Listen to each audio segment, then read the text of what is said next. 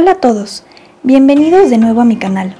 El día de hoy les voy a enseñar cómo empezar un bullet journal y razones por las que deberían tener uno. Bueno, para empezar, un bullet journal es una libreta como esta. La razón por la que se llama bullet journal es porque está llena de puntitos por dentro. Estos puntitos te permiten hacer líneas, cuadros, una caligrafía muy bonita, números muy lindos y todo el diseño que tú prefieras. Para tener un bullet journal no necesitas nada en específico. Lo único que yo utilizo son estas dos plumas y un plumón como este.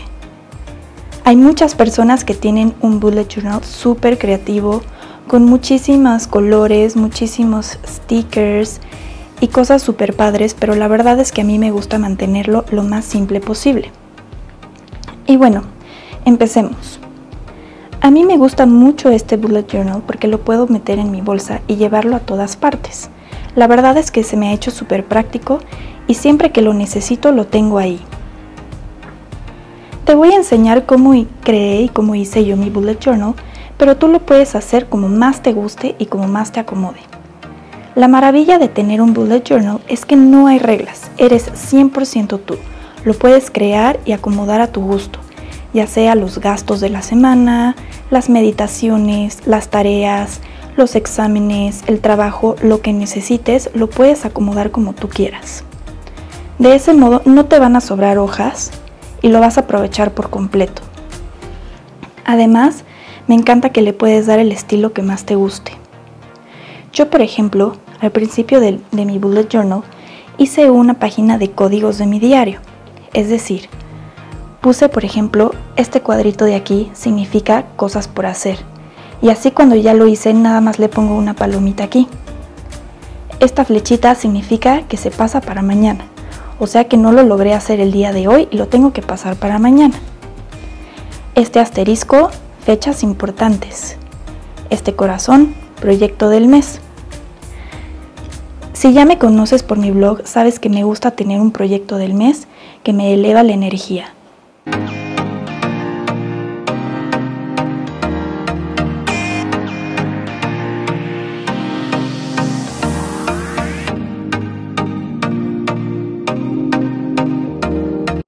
Y bueno, para empezar yo creé una vista al futuro. Una vista al futuro para mí es simplemente un calendario de todo el año. Puse enero, febrero hasta diciembre. Puse los numeritos, los días de la semana y así ya tengo una visión más general de cómo va a estar mi año. También dejé un espacio aquí para las notas importantes.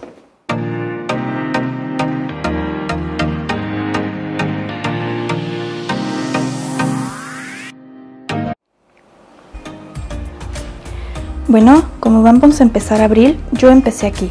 Bienvenido a abril.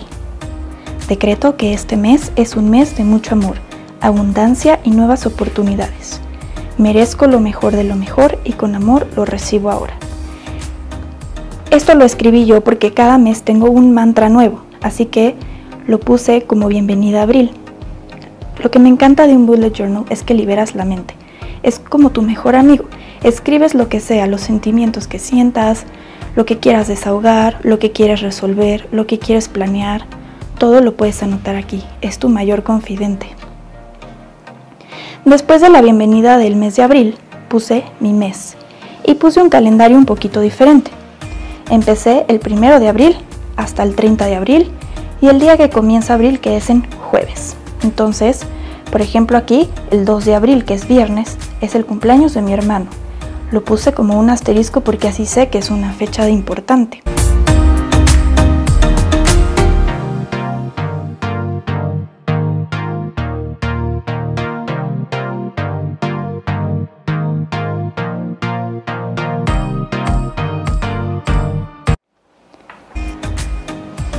Después planeo mi semana.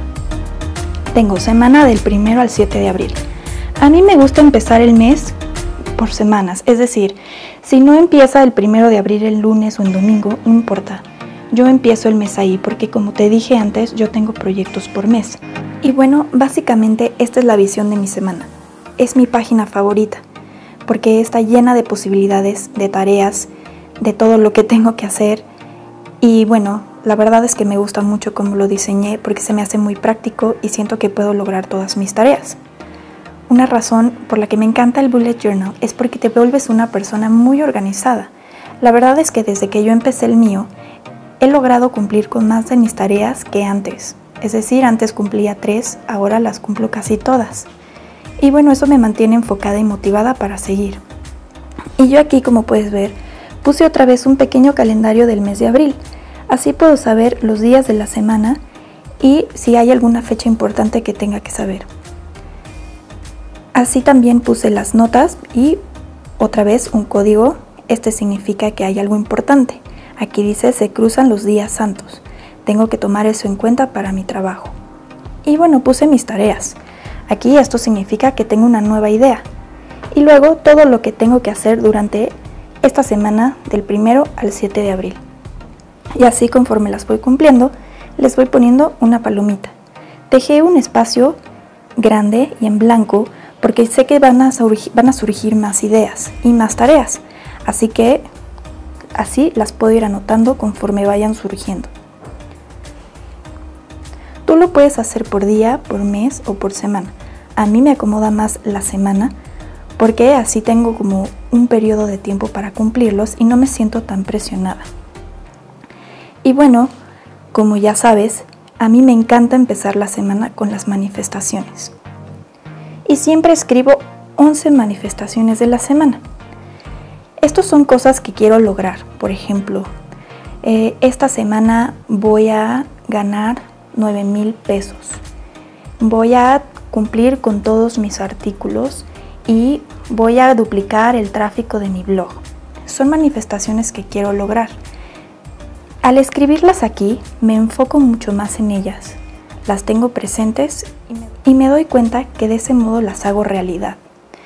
Si nada más las estoy pensando y me hago bolas en mis pensamientos, se hacen realidad una o dos. Si las escribo aquí como algo de mi semana, la verdad es que logro la mayoría. Y también dejé un cuadrito para mi intención. Mi intención de esta semana es estar muy enfocada en lo que quiero lograr y mi proyecto del mes. Mi proyecto del mes es el poder de la mente subconsciente. Y así la verdad es que me siento muy organizada, muy motivada, muy enfocada en lo que quiero hacer y eso me ayuda a seguir adelante, es decir, no retroceder en lo que ya he logrado.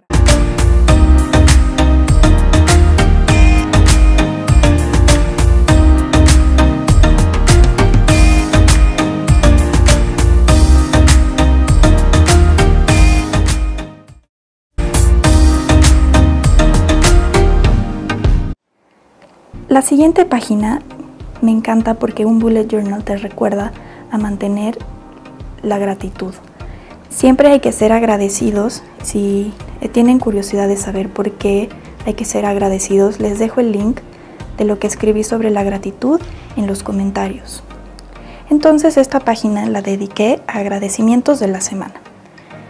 Sé que hay días difíciles, pero siempre hay algo por lo cual agradecer.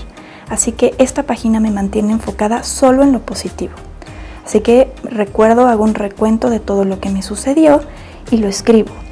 Gracias porque esta semana me regalaron unas flores. Gracias porque esta semana logré sentirme feliz. Esos pequeños agradecimientos me mantienen con la mente mucho más feliz. Inténtenlo y de verdad funciona. Y aquí dejé Notas importantes. Me gusta poner un cuadrito de notas importantes después de los agradecimientos porque sé que muchas veces esos agradecimientos vienen de manifestaciones que yo creé en la página anterior. A veces se manifiestan mucho, mucho más rápido y a veces no. Pero por eso dejo este cuadrito de notitas para poder decirme a mí misma cómo es que lo logré. Y por eso sigue mis logros de la semana. Aquí pongo mis logros de manifestaciones y objetivos y aquí los voy escribiendo. ¿Y cómo es que lo logré? Muchas veces es porque los mantengo enfocados en mi mente y los repito constantemente como afirmaciones y de ese modo es que los logré o creando, imaginando, eh, sacando toda la creatividad, ideas, es como lo logré. Así que aquí lo escribo y así para la siguiente semana puedo tener más ideas de cómo lograr algo diferente.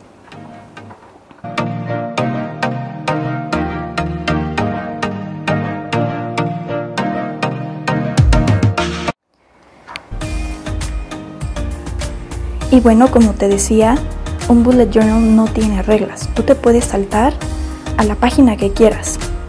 Yo aquí puse los logros de la semana y de inmediato me, me, salto a los gastos de la semana. A mí me encanta tener un control de mis gastos porque quisiera empezar a ahorrar. La verdad es que me cuesta trabajo, pero quisiera hacerlo, así que por eso tengo una sección precisamente para eso. Así me mantengo enfocada y lo puedo lograr lo más pronto posible. Y luego me brinco a mis pensamientos. Como te decía, un bullet journal te ayuda a liberar, a expresar y a solucionar. Cuando me siento muy abrumada por alguna situación, lo escribo, porque no me gusta darle mucha como importancia y no lo quiero externar como algo tan dramático, sino que simplemente lo quiero desahogar. Y mi bullet journal es mi mejor amigo para eso. Aquí pongo mis pensamientos. Y después, muchas veces lo que escribo es qué es lo que puedo hacer para cambiar esos pensamientos y cómo es que puedo solucionar ciertas situaciones. Eso me, trae mucha calma y así puedo mantenerme enfocada y dormir mejor. También a mí me encantan las afirmaciones. Aquí puedes tener una herramienta perfecta para afirmaciones positivas para tu día a día. La verdad es que un bullet journal tiene todo lo que necesitas en tan solo unas páginas y un cuaderno puedes crear la magia que tú quieras, puedes diseñarlo de la forma que más desees y puedes escribir lo que tú desees. Si lo quieres utilizar para situaciones de la tarea, de la escuela, de los exámenes, creo que te va a mantener muy enfocada y muy organizada porque la parte divertida es que lo organizas tú. Estos cuadritos y estas como highlights de, plumón, la verdad es que te motivan mucho, te mantienen entretenida. Cuando yo hice todas estas páginas, la verdad es que fue una como una etapa de terapéutica porque me estaba concentrando muchísimo en que quedara lindo, en que fuera como más me acomodara, como más me gustara. Y la verdad es que eso me, me ayudó como a mantener la calma, como si estuviera coloreando un mandala. Así fue como sentí que hice este bullet journal. Y bueno, la verdad es que este video es para inspirarte y que te motives a pues una vida más organizada y liberadora. Unas páginas te pueden liberar, es una herramienta donde tu palabra es la ley lo que tú digas se vuelve realidad y lo que tú digas y escribas lo vas a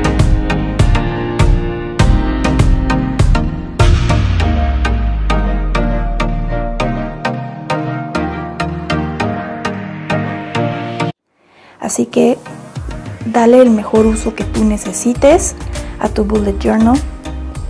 Yo encontré este por Amazon, también les voy a dejar el link del artículo que escribí y el, el link de este bullet journal por si lo quieren conseguir y ustedes le pueden poner las estampas que quieran. Hay personas que utilizan como estas stickers para organizarse, que se vea más bonito. ¿No? A lo mejor poner este aquí. A mí la verdad es que me encanta todo eso, pero me di cuenta que me gusta tenerlo mucho más organizado y sencillo. Y bueno, espero que hayas encontrado inspiración y motivación en este video. Si quieres saber un poquito más de cómo organizo yo mi bullet journal, déjame un comentario y suscríbete para más videos como este. Gracias.